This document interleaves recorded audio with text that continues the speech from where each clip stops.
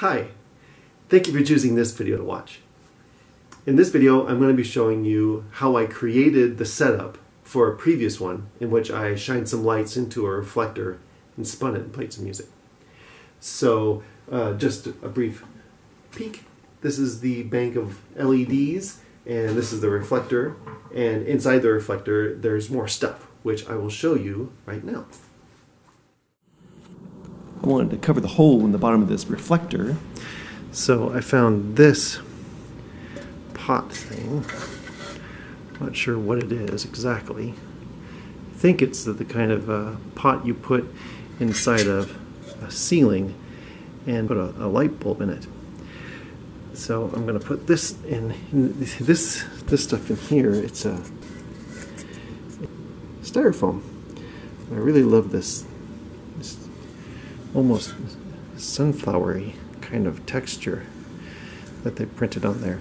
And I, I spray painted it with a glitter paint.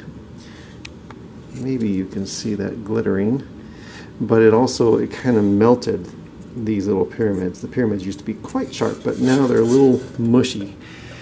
So that's a good lesson. Don't do that. But here we go. And another problem. I mean, the, the same old problem is I have these mounting holes and spacings that don't look symmetrical or just look out of place in the illusion I'm trying to create here in this mysterious object of this, this spinning thing. So what I've decided to do is um, uh, put some kind of ring in there to cover it up. And first I thought I was going to put some felt, but I didn't like the texture.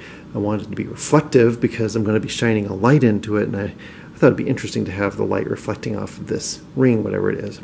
So I, uh, I designed the ring. I'll show it to you here. I, uh, I copied the size uh, exactly, and then I, I drew this um, this Celtic knot pattern on it. And then I scanned this into the computer. The next step was to make this into a digital file that the computer can read so I can make a 3D print of it and I could cut it into acrylic on the laser cutter. So I imported it into Photoshop and then took that file and imported it into Inkscape where I can create a file that a 3D printer can read.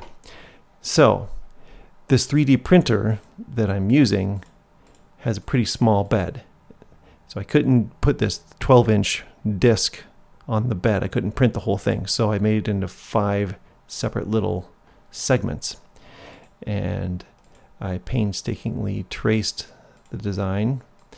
Then I made two separate files. One was this, which I was going to cut on the laser cutter.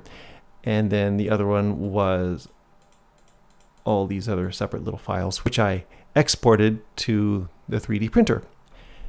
Here's Tinkercad, which is a program created by Autodesk for people like me who don't want to learn all the 3D printing stuff. They just want to create a thing. So I've imported my my my Celtic knots into this to create a dimensionality for them. Before they were just uh, 2Ds, and now they are in 3D. And this is the file that I'm exporting to the 3D printer.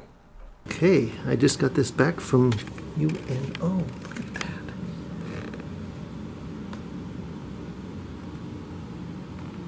It's amazing. It's exactly what I wanted.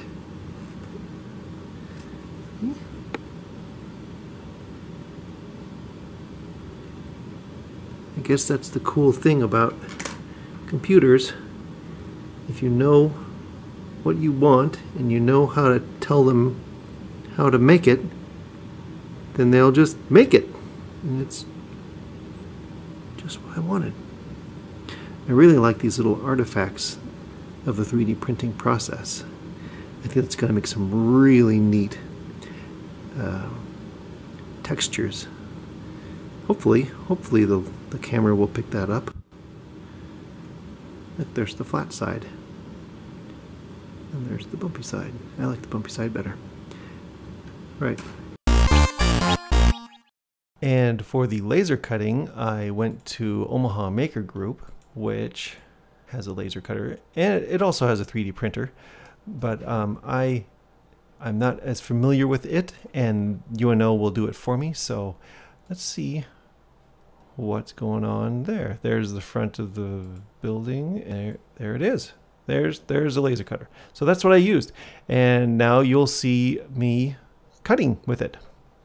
I decided to experiment with opacity. So I bought three different sheets of acrylic and in this one you're seeing being etched right now is clear, but I spray painted the back of it with this glitter paint. And I also etched a clear one and I bought a black one, which is completely opaque. And the idea there is that it'll just etch a white design on the surface and no light will come through from the bottom. So I'm not going to show the etching and cutting of all of them, just this first one, just to give you an idea about the time involved. This has obviously been sped up. It took about a half an hour to etch the whole thing. But the big reveal is when I take it out into the sunlight and show uh, how the laser cutter leaves a little powder on the surface and rub my thumb across, and there's the design. It's lovely.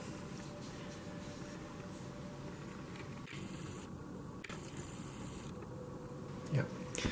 So that's that one. Here's the one that's been spray painted with the glitter paint on the back. It's a little more opaque and hopefully when the light hits it just right this glitter paint will um, will, will sparkle. And then this last one is the the black one. I think that black one's really going to look good.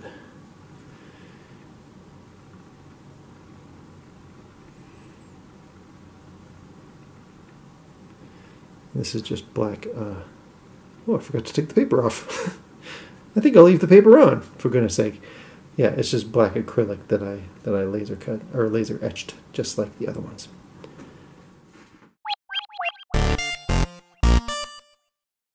Right, I found this in the trash, and it looks like someone has laser cut holes in it because the inside the holes it's all blackened, like it's been laser cut. But on the underside, it, see, it looks it looks like the uh, they took a drill, and you know how drills uh, when you when you drill through, it kind of splinters out sometimes. So I don't know how they did this, but I, I liked that, and I have an idea for um, for for making a matrix of LEDs. So this is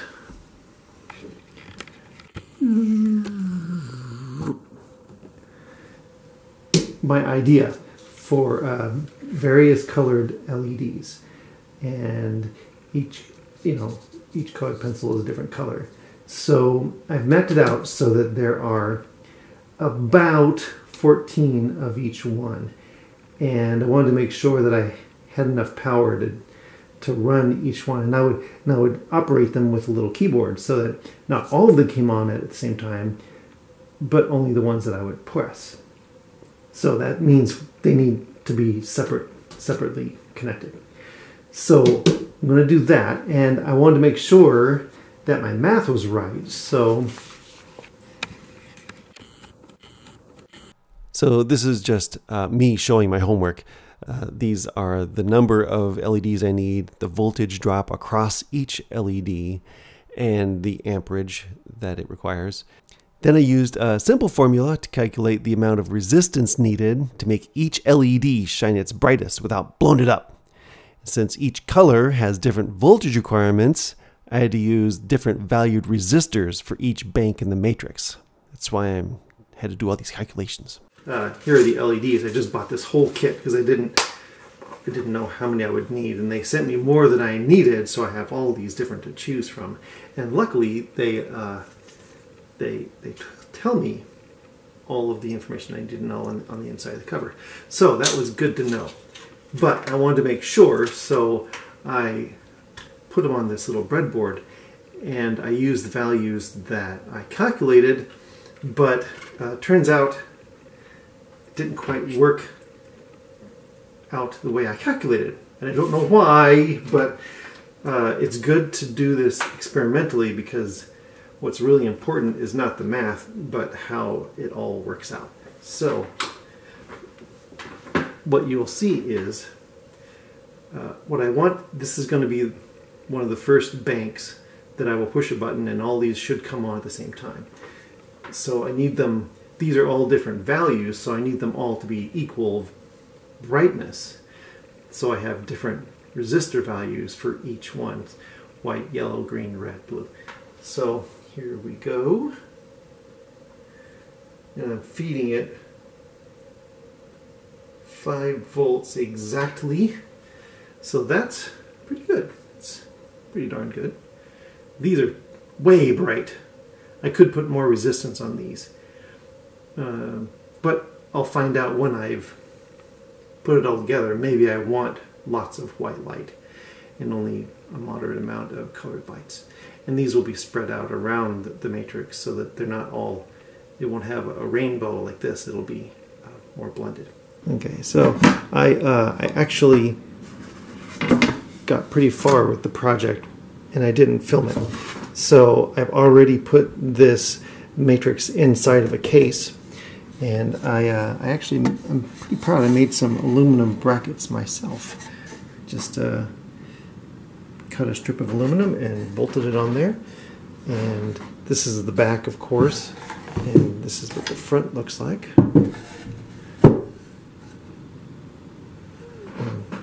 Uh, each one of these is kind of pointed in a different direction. You can see how I, I, I had to hot glue the smaller ones in there and uh, hot glue is covering over some of these lenses. So some of them are going to be a little muted a little diffused and they're all, they're all going to be pointing this way and that way. So I think that's going to be an interesting effect. It wasn't what I intended but um, we'll just see. And if it doesn't turn out then I'll, I'll drill smaller holes that will fit exactly the right size LED if that is what I intend to do. So there it is.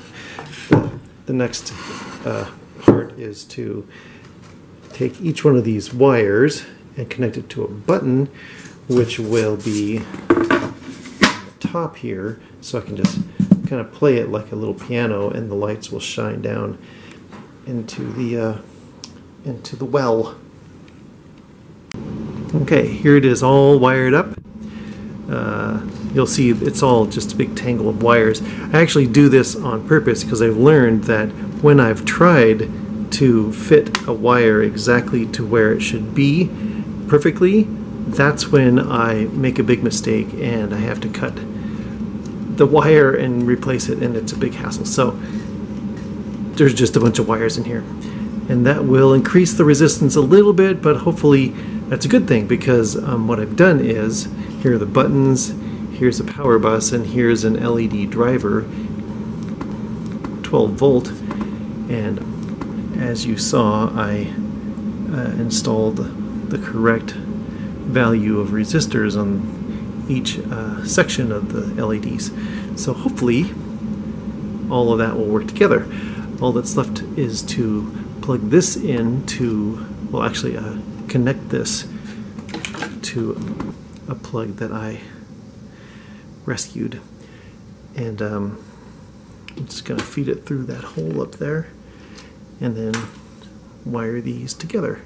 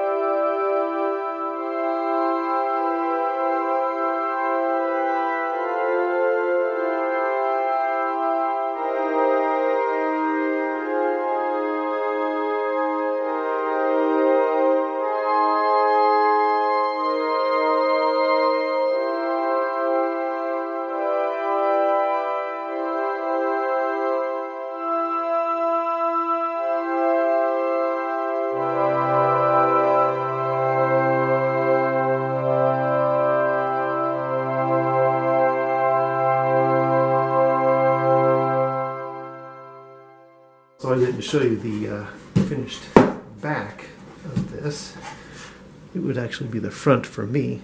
Um, this is a salvaged on-off switch I found, and here are little buttons, and I put them uh, so that I can play them, you know, like that.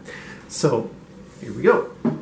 I'm gonna I'm gonna turn off all the lights so, you, so it will be much more brilliant. One moment, please. And then I can also play it for you. All right. How about some music?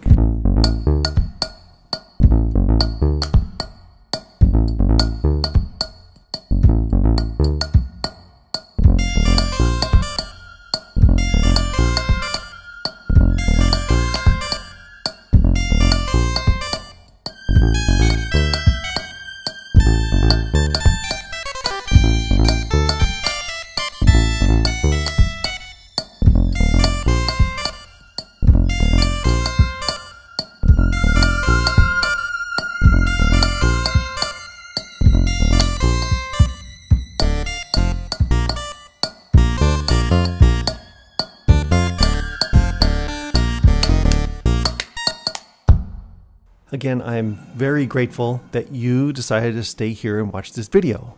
And if you want to see the performance of this, just click the link up here in the corner and it'll take you right to the spinning disc video. Thank you.